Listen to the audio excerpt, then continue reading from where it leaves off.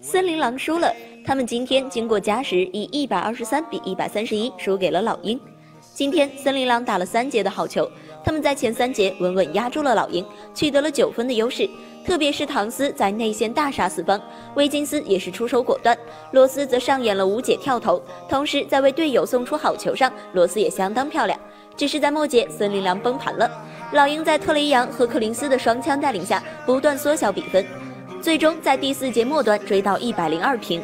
而最后时刻，克林斯还和唐斯进行了对标，这时双方已经战成了一百一十八平。而在最后一攻上，森林狼将球交给了罗斯。随着哨声响起时，罗斯是一脸的不甘心，甚至有一点恨，恨自己为什么不在年轻时好好保护一下身体，导致现在爆发力有点明显不够用了。最终，罗斯上场二十六分钟，得到十八分、六篮板、六助攻、一封盖，其实表现不错了。但自己错失绝杀球，也让罗斯有点沮丧。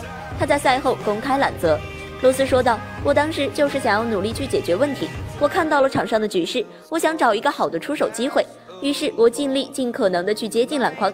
我当时觉得这肯定是一个好球，但希望总是在转瞬即逝，这是我的失误。而唐斯对于罗斯的揽责不是很满意，主要的问题是大家给你球是信任你，相信你，你没进是不用揽责道歉的，你这样不是不把我们当兄弟，这也太见外了。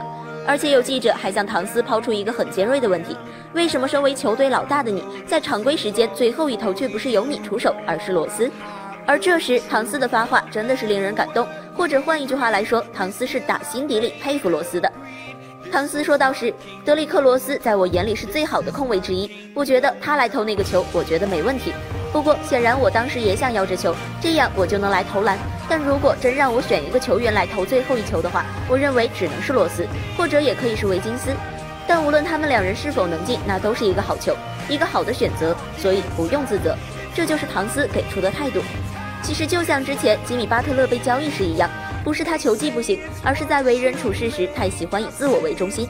而罗斯在处理人际关系上真的是巨星。毕竟当年公牛的基石可是罗斯，他当了大哥好多年，自然懂得如何和唐斯和维金斯这样的年轻人相处。至少从今天的比赛来看，森林狼内部安稳。同时，森林狼今夏真的可以考虑留下罗斯，给一个长期合同吧。